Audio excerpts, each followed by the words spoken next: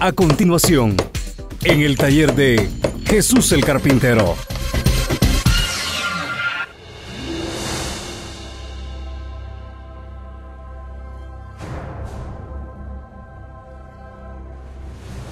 Gloria a Dios. Bueno, se ha llegado la hora de meditar en la palabra de Dios. Y les voy a invitar a que lean conmigo la palabra de Dios y vamos a ir a la carta del apóstol Pablo a los romanos al capítulo 10 y a los versículos 8 hacia el 10. Y dice así la palabra del Señor. La Biblia dice, por si acaso usted ve que hay palabras diferentes a las que usted está leyendo en su Biblia, es que le estoy leyendo en otra Biblia. Y en esta Biblia, que es la Biblia traducción en lenguaje actual, dice así. La Biblia dice, el mensaje de Dios está cerca de ti, está en tu boca y en tu corazón y ese mismo mensaje es el que les traemos, que debemos confiar en Dios. Pues si ustedes reconocen con su propia boca que Jesús es el Señor y creen de corazón que Dios lo resucitó, entonces se liberarán del castigo que merecen.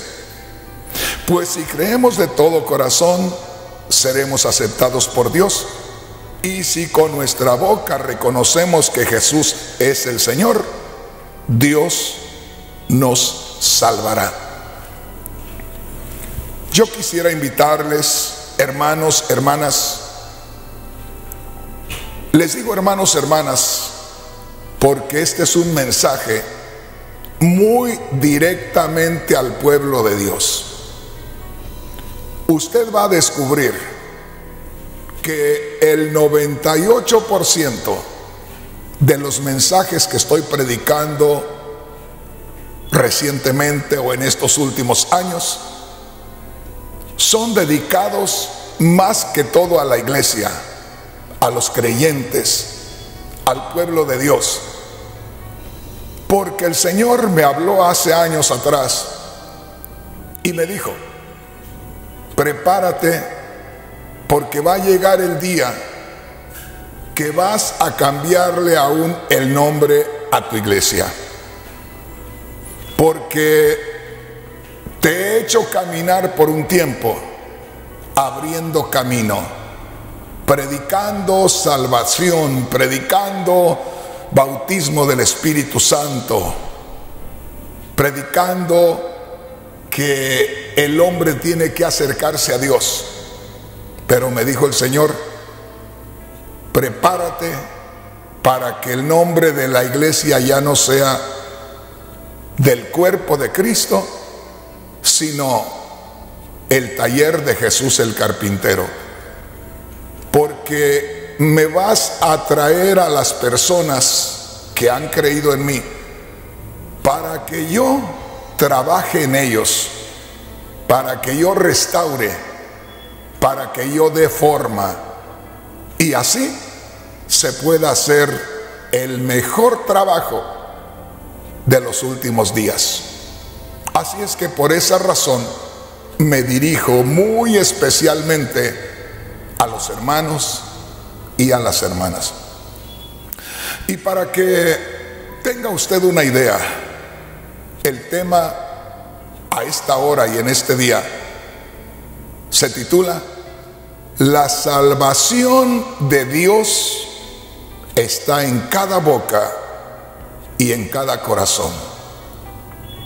Posiblemente la forma como yo exponga la palabra de Dios sea muy diferente a como otros siervos de Dios la pueden exponer. Y es que cada quien es usado por Dios de una manera especial. En mi caso,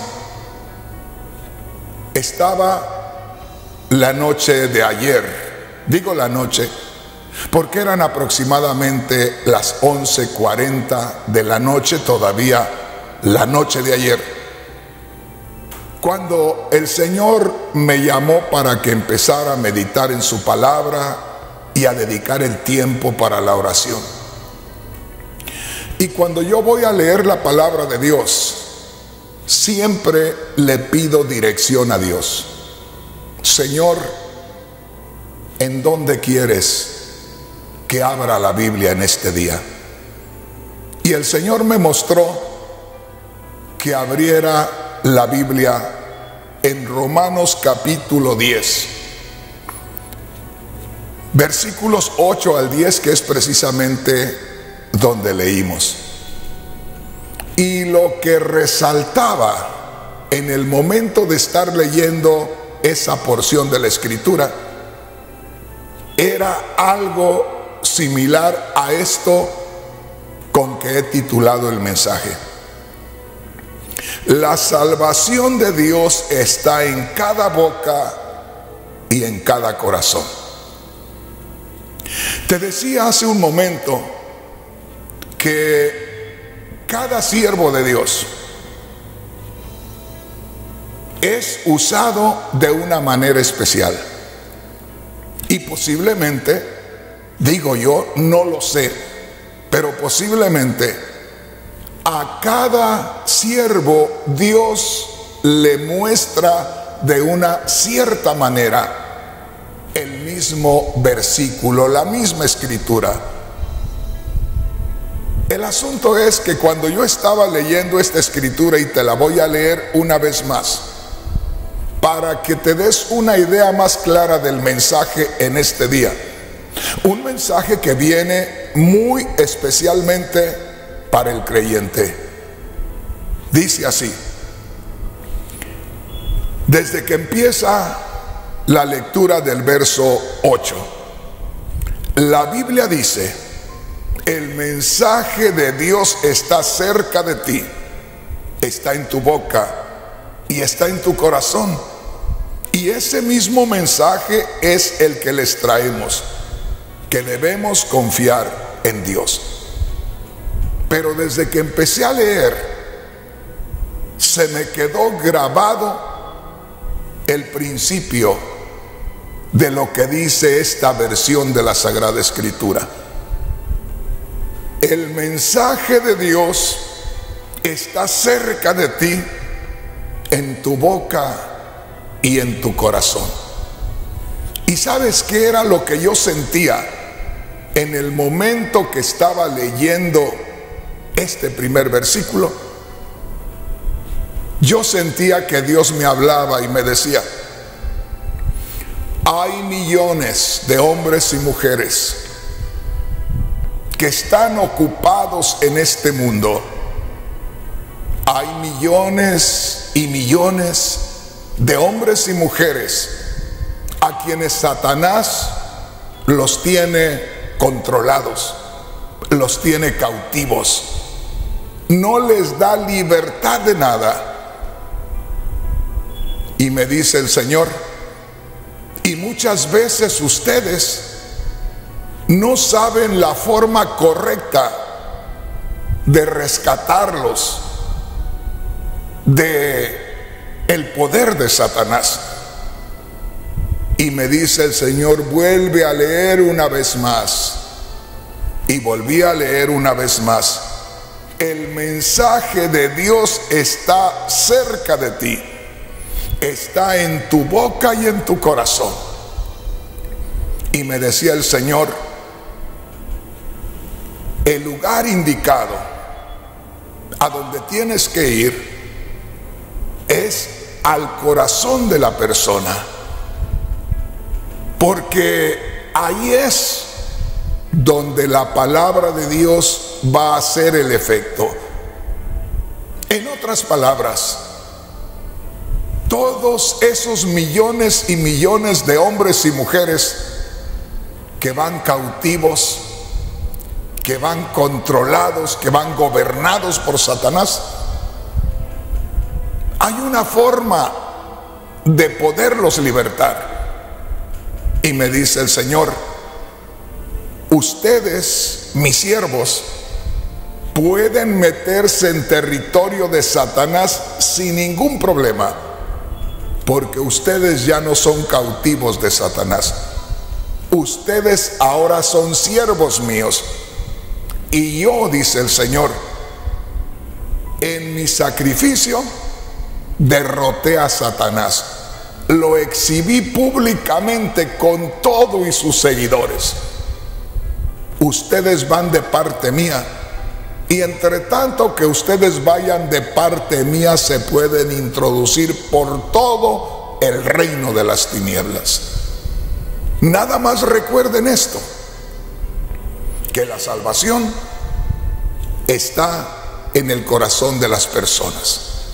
En otras palabras, toca esa parte sensible a mi palabra. Lleva mi palabra que haga contacto con el corazón de aquella persona para que pueda recibir el toque y esa persona pueda inmediatamente sentir el contacto de la palabra y pueda tener la libertad de levantar su cabeza porque jamás podrán levantar la cabeza mientras que no entre mi palabra. Todos ellos irán mirando hacia abajo sin poder levantar su cabeza, sin tener la libertad de levantar su cabeza, hasta el momento que oigan mi voz a través de ustedes. Y me recordó el Señor me dijo el Señor, ¿te acuerdas? En 1978, al principio del año, que tú andabas hablándole a la gente, testificándole de lo que yo había hecho en tu corazón.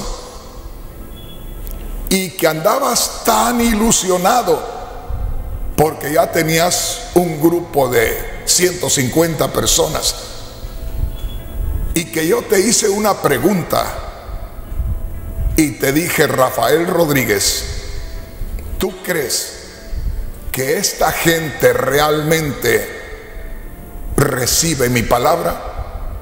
¿Tú crees que esta gente realmente siente el poder de mi palabra? Y que tú me dijiste, sí Señor, yo sé que esta gente realmente siente el poder de tu palabra. Y me dijo el Señor, y te recuerdas que yo te dije 1978, allá, cuando empezabas apenas a testificarle a la gente. Y dijo el Señor, ¿te acuerdas que yo te dije? ¿Y tú crees que si vas más allá de aquí, de esta ciudad donde estás, la gente va a creer? Que tú me dijiste inmediatamente, Señor, sí van a creer en ti, sí van a escuchar, sí se van a convertir. Y me dijo el Señor, ¿y te acuerdas que yo te dije, ¿y qué prueba me das de que salgas de esta área y la gente pueda creer? Y me dijo el Señor, y tú me dijiste rápidamente, Señor, un corazón llegó a este corazón con tu palabra. Esa es mi respuesta. Si un corazón fue el instrumento para que tú tocaras mi corazón, aquí tienes, Dios mío, un corazón convertido y así como otro corazón hizo efecto en este corazón o sirvió de conducto para que este corazón te sintiera y te gozara, Señor, ábreme la puerta y verás cuántos creen en ti. Y precisamente hoy me recordaba el Señor, desde 1978 que tuvimos ese diálogo el Señor y yo, y me dijo, lee una vez más esa escritura. Y yo la leí, déjeme decirle, yo no paso de leer a veces cinco versículos o diez versículos. De ahí ya no paso, porque el Señor me da el mensaje y me entretiene ahí. Y vuelvo a leer y Dios me da más revelación. Y volví a leer que esta Biblia dice, la Biblia dice, el mensaje de Dios está cerca de ti, está en tu boca y está en tu corazón. En otras palabras, el apóstol Pablo allí estaba hablando acerca de llevar el mensaje, de llevar el evangelio, de alcanzar a los demás. Y me dijo el Señor, con lo que estaba leyendo, el mensaje de Dios está cerca de ti, está en tu boca y está en tu corazón. Y me dice el Señor, mi salvación no está lejos de esa gente, está en su corazón, está en su boca. Solo necesitan el contacto de alguien que venga de parte de Dios.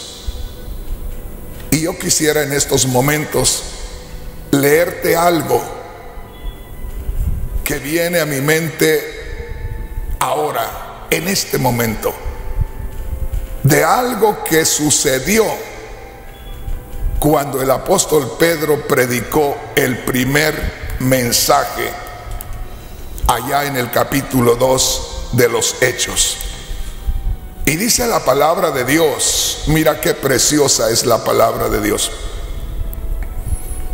El apóstol Pedro, inspirado por el Espíritu Santo, movido por el Espíritu Santo, en otras palabras, no era el apóstol Pedro, sino el Espíritu Santo a través del instrumento que era Pedro, usando su espíritu usando su alma, usando su mente, usando todos sus sentimientos. Ahí estaba Pedro como un instrumento nada más en las manos del Señor.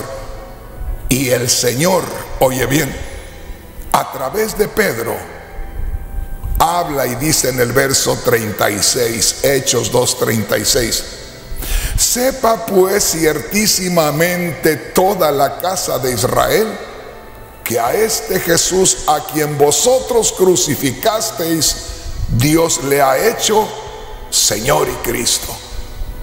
Y dice el verso 37, al oír esto, se compungieron de corazón y dijeron a Pedro y a los otros apóstoles, varones hermanos, ¿qué haremos? Escucha bien esto. Lo que dice la palabra de Dios es que cuando estaban todos los discípulos, una aproximación de 120 hermanos, los doce que había llamado el Señor, más unos 108 más del resto de los discípulos, estando reunidos en el aposento alto, Dice la Biblia que se derramó sobre todos el Espíritu Santo. Todos, dice la Biblia, fueron llenos del Espíritu Santo. Sobre cada uno de ellos, sobre todos, había una imagen, vamos a decir así. Había una señal como una llama de fuego sobre cada uno de ellos. Y la Biblia dice, y comenzaron todos a hablar en otras lenguas conforme el Espíritu Santo les daba que hablasen.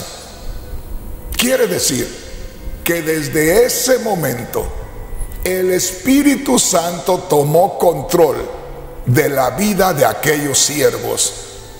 Y desde ese momento ya no eran los siervos, era el Espíritu Santo a través de los siervos.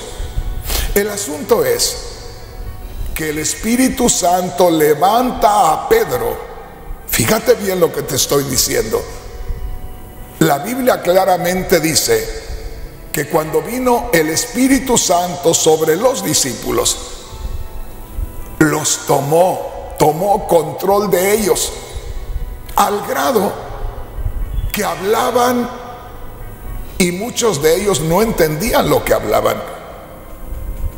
Hablaban en el idioma de unos y de otros y de otros. El asunto es que se mostraba algo que era sobrenatural, que no era común, que no era normal. Y es que era el Espíritu Santo el que estaba hablando a través de todos ellos. Y la Biblia dice que aquellos judíos que empezaron a reunirse por lo que estaba sucediendo, tuvieron un tiempo de burlarse, de reírse y de decir, estos están borrachos, estos están llenos del efecto del licor. Y la Biblia dice que cuando todos aquellos judíos celosos, cuando todos aquellos judíos incrédulos al Mesías se reunieron y empezaron a reírse, a mí siempre me ha llamado la atención esto que hizo Dios. Dice que el apóstol Pedro se puso de pie y tras él se pusieron de pie los once compañeros para que fueran los doce. Esto está tremendo. Imagínate, los judíos para con los recién convertidos o los seguidores de Jesús el Cristo, eran un azote, eran temerarios. Aquel grupo de judíos que estaba ahí, toda aquella gente que estaba ahí, eran para causar terror si venían a rodearlos. Menos mal que ellos estaban llenos del Espíritu Santo. No estaban así en esa forma común, humana, sino estaban tomados por el poder del Espíritu Santo. Si no, yo creo que huyen de ahí. Pero mientras que los judíos se burlaban, ellos estaban llenos del poder de Dios. El asunto es que cuando los judíos se burlaban de ellos y que no esperaban ser avergonzados de ninguna manera, el Espíritu Santo, tomando el control de Pedro, lo fue poniendo de pie. Y tras él comenzaron a irse levantando también los otros once. Y a mí me gustaría ver la cara de los judíos cuando se empiezan a levantar los apóstoles del Señor y ellos comienzan a cambiar su semblante de burlones a temerosos. Eso lo hace Dios. Cuando se empiezan a levantar los discípulos del Señor por el Espíritu Santo, los otros comienzan a ser invadidos por un temor. Los que estaban ahí para burlarse y posiblemente para atemorizar a aquellos o deshacer el cristianismo, ahora estaban doblegándose al grado que con temor les dijeron, varones hermanos, ¿qué haremos? Ojalá que me entiendas el mensaje. La salvación no estaba lejos. La salvación tampoco iba a venir de arriba. La salvación no iba a venir de un lugar, un centro de estudios. La salvación venía por el Espíritu en ellos y un punto de contacto que había dentro de aquellos que estaban ahí burlándose. Porque empieza a hablar Pedro y dice la palabra de Dios que Pedro estaba hablando los sentimientos de Pedro, las emociones de Pedro, la influencia del Espíritu Santo a través de Pedro, estaba golpeando duro las defensas de aquellos judíos religiosos. Y dice ahí en el verso 36, sepa pues ciertísimamente toda la casa de Israel que a este Jesús, a quien vosotros crucificasteis, Dios le ha hecho Señor y Cristo. Mira el cambio. Al oír esto, hubo un momento, hubo un encuentro ahí, hubo una conexión. Al oír esto, se compungieron de corazón y dijeron a Pedro y a los otros apóstoles, varones hermanos, ¿qué haremos? Recuerda, hermano, hermana, el mensaje en esta hora. Piensa en esto. Tú no te imaginas lo que me sucede a mí cuando a solas el Señor me enfrenta.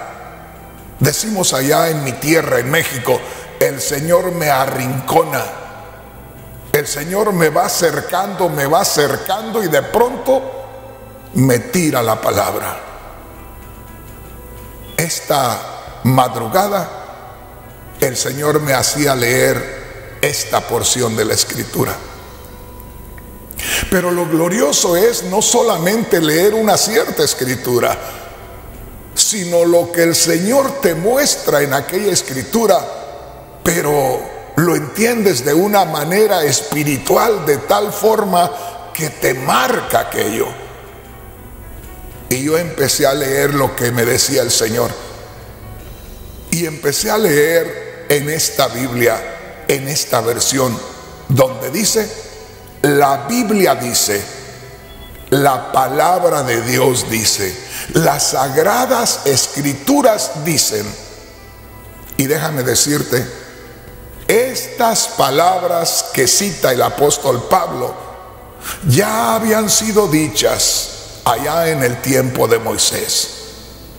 Ya Dios había dicho estas palabras, pero ahora por medio del apóstol Pablo, cientos de años después, las recuerda. Y aquí hay algo muy maravilloso. Porque cuando yo estaba leyendo esto que dice, la Biblia dice, el mensaje de Dios está cerca de ti, en tu boca y en tu corazón. Yo sentía que a mí era el que Dios me estaba diciendo,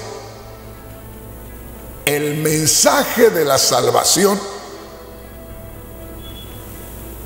tiene conexión con lo que tienen esos millones y millones de hombres y mujeres que Satanás tiene controlados, esclavizados. Fíjate bien, como que Dios me decía, ves esas multitudes, ves esos millones y millones de hombres y mujeres que están ahí. Tú tienes la oportunidad de llamar su atención. Tú tienes la oportunidad de hacerlos que despierten. Tú tienes en tus manos la autoridad y la forma de conectarte con ellos de tal manera que ellos sientan a su Dios, al que los creó y entonces abran sus ojos a la vida espiritual. Y yo me quedé asombrado. Y yo digo, Señor, qué maravilloso es esto. ¿Cuántas veces nosotros los mismos predicadores podemos estarnos quejando, podemos estar criticando y juzgando a la humanidad?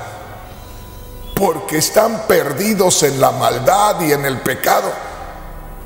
Y no tenemos la revelación de que estamos conectados a Dios, que el Espíritu de Dios nos posee y que podemos entrar en contacto con las personas y ahí descubrir la salvación en ellos. Posiblemente no me entiendas, sigue escuchándome, pero yo siento que después de que este mensaje, habrá muchos hombres y mujeres que van a sentir simplemente que los lleva el Señor a hablarle a alguien. Antes de empezar yo en los programas de radio acá en Los Ángeles, porque comencé en el año 1985 en la radio, antes de eso me iba yo a buscar las almas por las calles por la gracia de Dios sé lo que es ganarme una alma por las calles. Yo no sé si todavía vive el pastor que me bautizó. Y si vive ya está muy ancianito. Pero él era un hombre un poco brusco para hablar la palabra. Él llegaba a una casa y primeramente les echaba en cara la forma como vivían.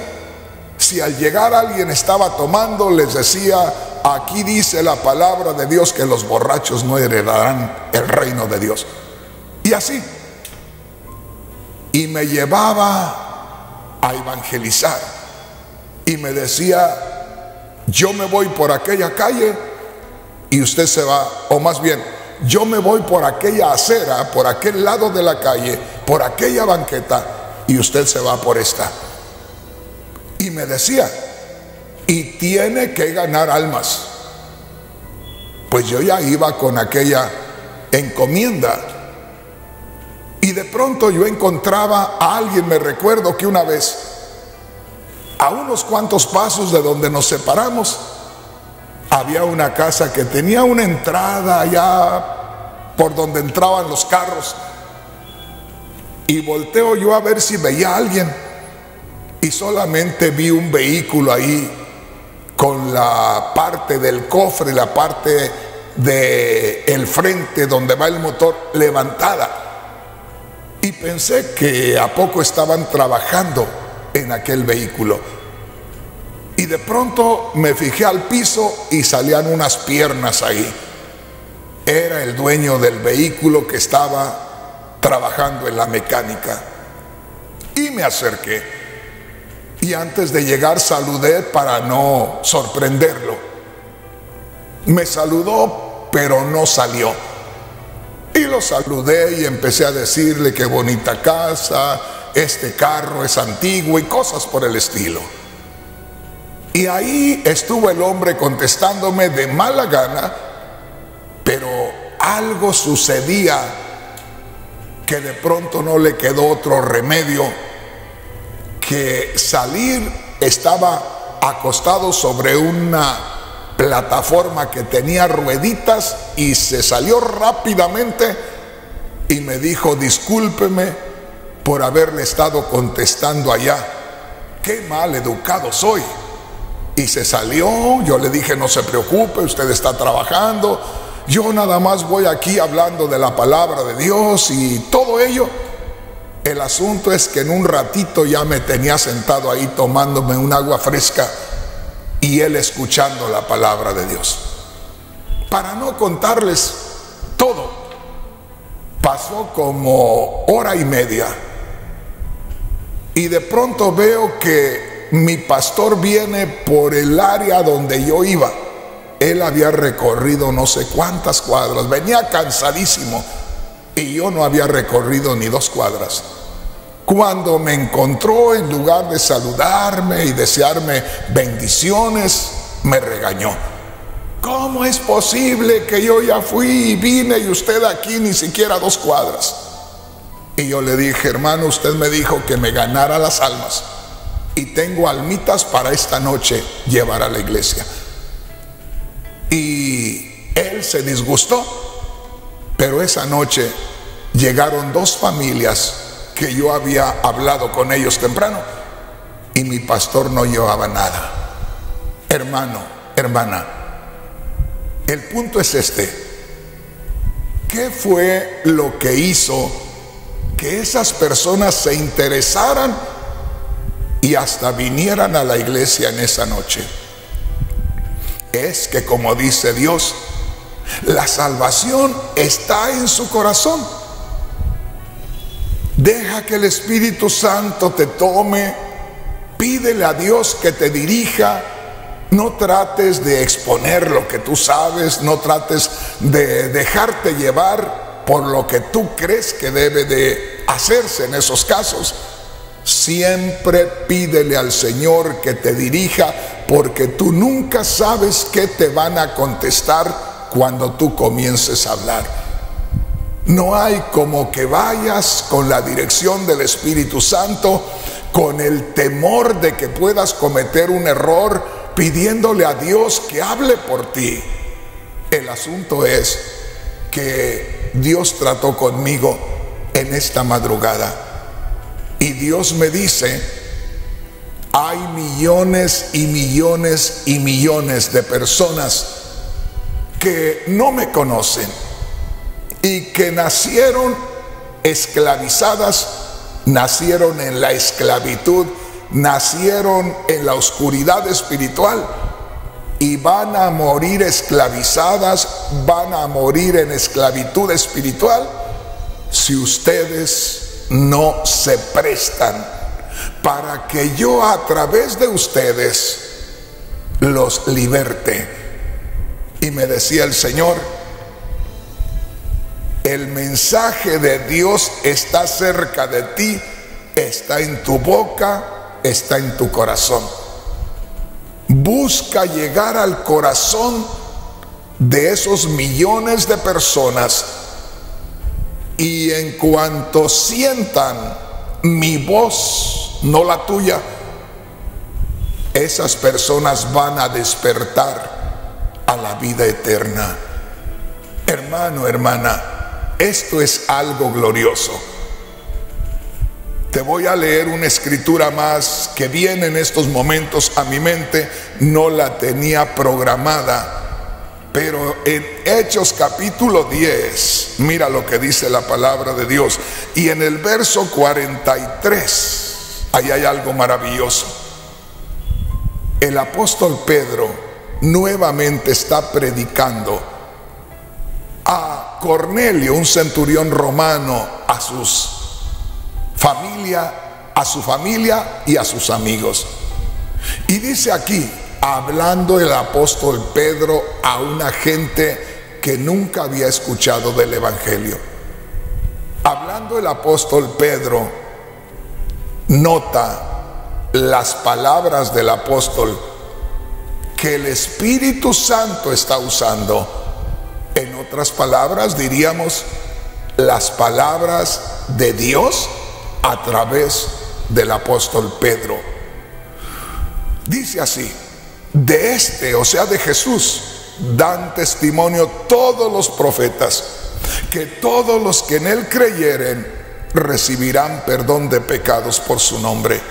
Y en el verso 44 dice, mientras aún hablaba Pedro estas palabras, ni siquiera terminó el mensaje. Ahí se le acabó el mensaje. Ahí el mismo efecto de la palabra de Dios tuvo que detener ya la predicación. Mira qué tremendo. Dice, mientras que un mientras que aún hablaba Pedro estas palabras, el Espíritu Santo cayó sobre todos los que oían el discurso y dice, y los que habían ido con Pedro de los judíos estaban asombrados, estaban atónitos de que también sobre los gentiles se derramase el Espíritu Santo, porque los oían que hablaban en lenguas y magnificaban a Dios. Pedro solo estaba hablando. un corazón, oye bien, un corazón que estaba ya en contacto con Dios, estaba en comunicación con muchos corazones que no tenían relación con Dios. Y esa libertad que le damos a Dios para que Él se exprese, para que Él se mueva, hizo que esta gente pudiera llegar a sentir a Dios. Dice, mientras Pedro hablaba, el poder de Dios vino sobre aquella gente, sobre todos. Y todos fueron llenos del Espíritu Santo. ¿Te das cuenta? Fue el contacto del mismo Dios a través de las palabras de el apóstol Pedro. No te asombres que después de que hayamos terminado de hablar aquí, tú sientas que Dios ha tratado contigo. Tú sientas algo que fluye a través de ti, algo que no te deja estar tranquilo, algo que te incomoda, que te inquieta porque Dios se mueve de una manera maravillosa. Déjame decirte que esta madrugada Dios trataba conmigo y me hacía revelación de muchas cosas. Esa frase, el mensaje de Dios está cerca de ti, está en tu boca y está en tu corazón hermano, hermana, déjame decirte que nosotros somos el contacto de Dios para con los que no le conocen.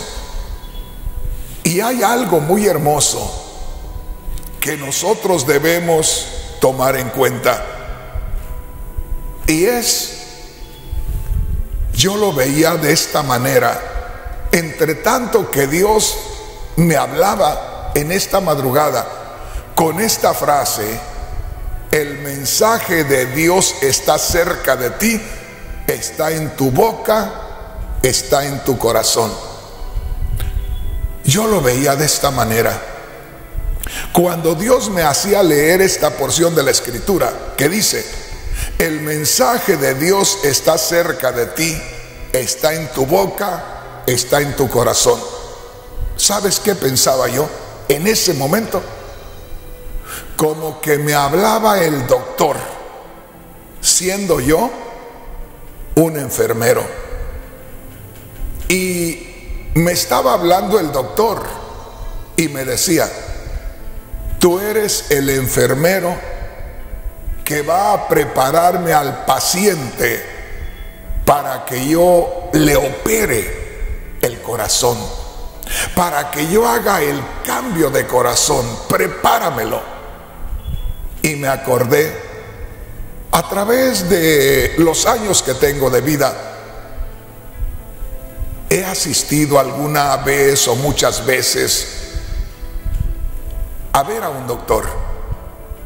Y en esas clínicas, en esos hospitales, no te atiende directamente el doctor sino que llegas a ese lugar, toman tus datos, llenas un formulario y en un momento dado sale una enfermera y te llama.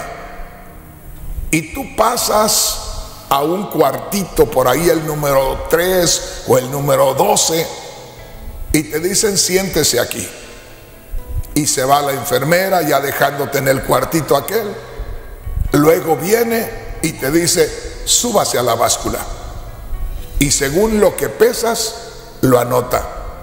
Ahora póngase recto porque lo voy a medir. Y te mide y anota. Y luego al rato viene y te pone el termómetro a ver cómo andas de temperatura. Y luego te toma la presión arterial. En fin, te está preparando. Y de pronto aparece el doctor Y ya el doctor, habiendo recibido todo el informe, ya solamente viene para darte el diagnóstico. Y así lo mismo con aquella persona que le van a hacer un trasplante de corazón. Primeramente vienen las enfermeras, los enfermeros, los anestesiólogos y todos ellos y preparan el escenario ahí para que luego aparezca el médico general, el que hará el trasplante de corazón. Y yo le digo, Señor, qué maravilloso eres tú. Qué oportunidad tan gloriosa nos das de poder ser instrumentos en tus manos y que estás dispuesto a darnos de tu gracia para que podamos con amor, con ternura, con compasión, porque así está el que está enfermo. El que está enfermo, tú no puedes hablarle duro. Al que está enfermo hay que hablarle con amor, con ternura, con compasión y tratarle de una manera especial. Y yo le digo, Señor, qué maravilloso es pasar los años y aunque tengamos ya muchos años caminando contigo, que sigamos aprendiendo de ti. ¿Cómo es que tú trabajas a través de nosotros y en qué podemos nosotros servirte, Señor? Una vez más, recuerda esto, que tú y yo somos como los enfermeros que tienen el primer contacto con el enfermo. Somos los que estamos trabajando con él, nos conectamos con él. Te digo, la enfermera, la secretaria, todos los que están ahí en la oficina de aquella clínica, de aquel hospital, son los que empiezan a preparar todo para que luego llegue el médico, el más grande de todos ahí, y haga ese cambio de corazón. Ojalá que me entiendas. Pero todo está en el descubrimiento cuando el Señor me revelaba esto. El mensaje de Dios está cerca de ti, en tu boca y en tu corazón. Cualquiera diría, Dios me está hablando a mí. Pero a mí Dios me mostraba el mensaje de la salvación. Ahí está conectado con el corazón de tu prójimo. Ahí está la salvación. Llega ahí. Por otro lado, no hay cosa más gloriosa porque el Señor me mostraba ¿Sabes por qué has visto tantas almas convertirse? Y le digo, no, Señor, yo simplemente te conocí, me regocijé en tu presencia y sentí salir a hablarle a la gente de ti hasta el día de hoy. No sé nada más. Y me dijo el Señor, este tiempo que tú tienes acá en las madrugadas es donde se engendran las almas. Estos momentos que tienes en intimidad conmigo es donde se prepara el horizonte, es donde se proyecta todo lo que tú ves después. Y me empezó el Señor a mostrar muchas cosas. Y me mostraba el Señor una iglesia que por ahí en el año 89 la tomé en la ciudad de El Monte, California. Y comencé con esa iglesia ya que tenía una en una ciudad llamada Pomona, la primera iglesia.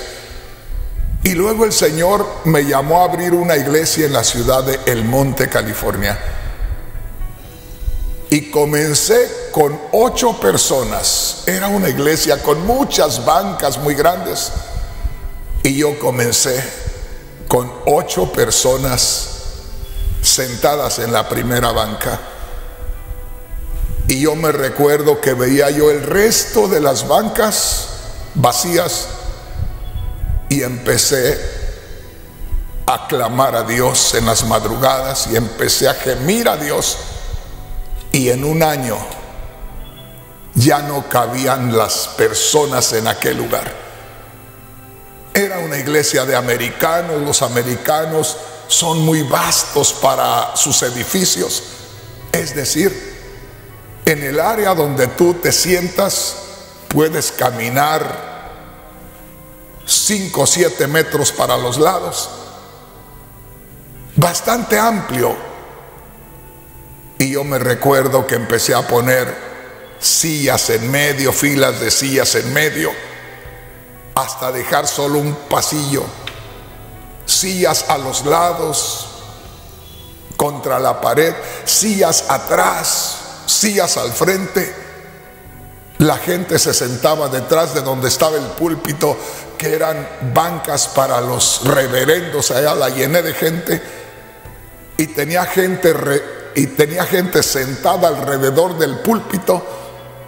En un año salía yo de esa iglesia porque ya no le cabía un alma más. Y salía y el Señor me llevaba al centro de Los Ángeles y me dijo, quiero este lugar. Un lugar que había sido una escuela de computación con 49 espacios, cuartos grandes y chicos. Y tiramos todas aquellas paredes, hicimos un lugar maravilloso y ahí vimos la gloria de Dios. Pero el punto, ¿qué pasó con el líder que se me separó y se quedó en aquella iglesia y con aquella iglesia? Se supone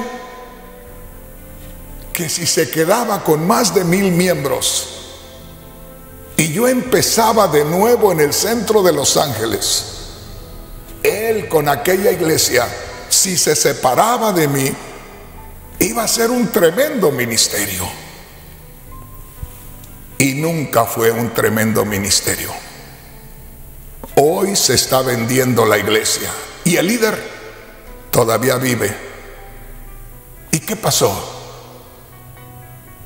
Como te digo, las almas se engendran en la quietud de las madrugadas, derramando el alma delante de Dios. Hay hermanos que me dicen, hermano Rodríguez, ¿qué es lo que siente? ¿Por qué a su edad no está tranquilo por ahí? Ya casi todos están tranquilos los de su edad. Yo no sé de los demás. Yo sé de lo mío. Y esta madrugada me decía el Señor, aquí, en estas madrugadas, es donde se engendran las almas. Me decía el Señor, yo te di una iglesia muy grande, hasta con escuela en la ciudad de Dallas, Texas. Y un día los que estaban ahí ayudándote sintieron que ellos podían solos tomar la obra y engrandecerla. Y se separaron de ti. Y ahí está la iglesia quemada. Y las almas y la gente que había ¿Dónde está? La obra no creció porque faltó esa intimidad en las madrugadas. En otras palabras, hay veces que la gente no sabe cómo es que se crecen las obras. Yo he conocido ministerios que los inició un hombre de visión. Por allá en Guatemala conocí dos o tres. Aquellos hombres incansables, aquellos hombres que tenían la gracia de Dios y que los seguían multitudes. Llegó el día que aquel hombre enfermó o murió y el ministerio lo tomó la esposa o lo tomó el hijo. Y hermanos, la obra de Dios no es un patrimonio humano como para que vaya de generación en generación. Los hijos míos jamás tomarán este lugar si no son dignos, porque esto no es capricho de hombres, esto es algo divino. No hace mucho tiempo trabajábamos en la República del Salvador. Y yo por acá y allá los hermanos, muy pronto el que estaba al frente, comenzó a pensar que podía él seguir con la obra. Y convenció a los hermanos y lo apoyaron y quisieron trabajar solos. Pero con toda aquella gente que se quedó varios miles, estará una obra que va avanzando y que va arrasando por todos lados y reclutando más y más hombres redimidos, mujeres redimidas. Yo no escucho mucho. ¿Y por qué? Precisamente porque desconocemos la forma como Dios llega al corazón de las personas. Y hermanos, hermanas, oiga bien, Dice el Señor, el mensaje de Dios está cerca de ti, está en tu boca y está en tu corazón. En este caso, Dios nos está diciendo, hay millones y millones de hombres y mujeres cautivos por Satanás, cautivos por el pecado, que no pueden reaccionar que no pueden mirar arriba. Y dice Dios, el secreto está tocar el botoncito de su corazón. Para eso no puede ser el hombre. Uno puede convencerlos de muchas cosas y de muchas maneras. Y uno puede juntar mucha gente haciéndoles espectáculos reuniendo a la gente y diciéndole, ¿sabe qué? Viene tal artista, tal cantante, tal persona que viene acá atrayéndolos con algo. Pero no hay cosa más gloriosa que sea el mismo Dios el que toque el corazón de aquella persona a través de su corazón. Ojalá que me entiendas, hermano, hermana.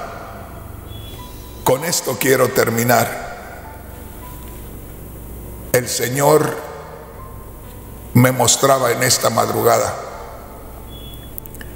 que nosotros debemos ser como los dolores de parto.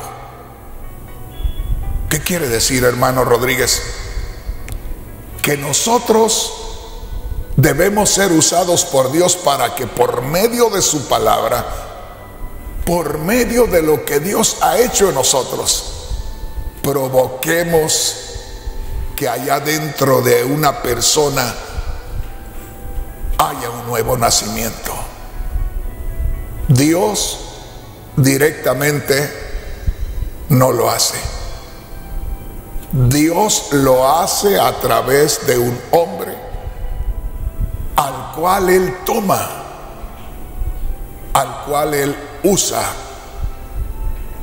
Cuando Dios llamó a Pedro y Andrés, les dijo, vengan, yo los voy a hacer pescadores de hombres.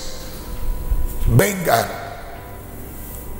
Así de la misma manera como yo los he llamado a ustedes y ninguno de ustedes se negó, porque cuando el Señor llama, no hay forma de escaparse de ese llamado.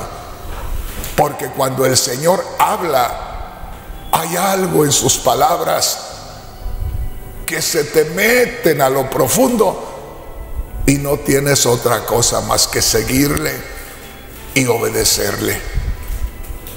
Porque cuando te encuentras con el Señor y observas su mirada, hay algo en su mirada que te cautiva y que ya no te permite que sigas adelante por tu camino. No hay cosa más gloriosa que con claridad, que con libertad te encuentres con el Cristo de la gloria. Escúchame bien, hermano, hermana. Dios quiere llegar a cada persona de aquellas que están cautivas por Satanás y quiere llegar a través de ti y a través de mí. Pero necesitamos nosotros tener una plena claridad de cómo se encuentra uno con Cristo Jesús. En otras palabras, debemos habernos encontrado con el Señor de una manera real y verdadera, porque de esa misma manera vas a poder llegar a los demás y ellos van a tener esa revelación del mismo Cristo que tú conociste. No te olvides, dijo el Señor a través del apóstol Pablo, la salvación está en tu boca y en tu corazón. Así, la salvación de los hombres está allá en su corazón, pero se necesita de un corazón que haya sido tocado por el poder de Dios. Con esto voy a terminar.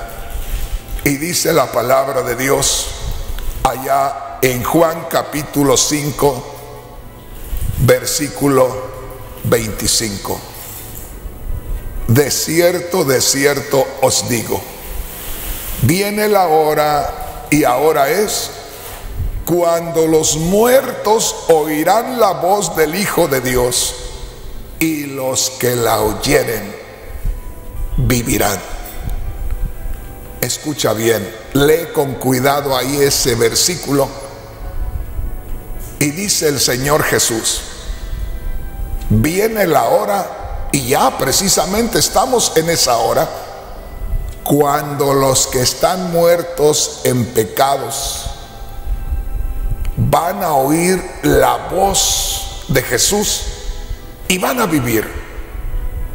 Cuando tú vas a hablarle a alguien de Cristo, no eres tú hermano, no eres tú hermana, es el mismo Cristo resucitado, que ya es un espíritu contigo el que habla a través de ti. Por eso Pablo dijo, Gálatas 2.20, con Cristo estoy juntamente crucificado. Me he identificado con el Cristo que fue crucificado y resucitó de entre los muertos. Y ya no vivo yo, Cristo vive en mí. Por lo tanto, Cuando tú vas a hablarle a una persona, recuerda siempre que si tú hablas, hasta te van a correr. Si tú hablas, hasta te van a maltratar. Pero si habla Cristo a través de ti, va a tocar ese botoncito sensible a su palabra y vas a ver el resultado. Una vez más, dice así, Juan capítulo 5, versículo 25, de cierto, de cierto te digo, viene la hora y ahora es cuando los muertos oirán la voz del Hijo de Dios y los que la oyeren vivirán. Piensa por un momento alguien que está en estado de muerte, alguien que no tiene sensibilidad, está ahí inerte y tú hablas y al hablar esa influencia de la palabra de Dios hace que aquella persona sienta la vida de Dios y se levante en una resurrección espiritual. Oh hermano, oh hermana, si tú supieras lo que traes contigo y que te dieras cuenta del efecto que causaría si hablaras, pero dejándote llevar por el Espíritu, sería glorioso. Multitudes estarían sensibles se volverían sensibles a la presencia de Dios. Multitudes al sentir la vida de Dios caerían de rodillas, llorando y gritando y diciendo, ¿por qué yo? ¿Quién soy yo para merecer esta bendición? ¿Quién soy yo para merecer este escogimiento, esta selección? ¿Quién soy yo? Por eso, hermano, hermana, en este día solamente recuerda esto. Hay millones y millones y millones de personas las cuales son cautivas, son esclavas, no tienen libertad de nada, pero tú y yo somos libres. Y con nosotros va el que quiere seguir liberando a los cautivos. Solamente es prestarnos en sus manos y dejarlo que nos mueva y dejarlo que Él hable a través de nosotros. En este momento, hermanos, hermanas, yo les digo siempre, yo hablo tanto y no sé ni qué hablé. Este es el momento de detenerme y darte gracias a ti, hermano, hermana, por haberme escuchado, por el tiempo que has dedicado para escuchar este mensaje. La pregunta que yo hago es, ¿sería de algún provecho a alguien? ¿Alguien sintió que le hizo efecto lo que se habló? ¿Alguien recibió palabra de Dios? Aquí me voy a detener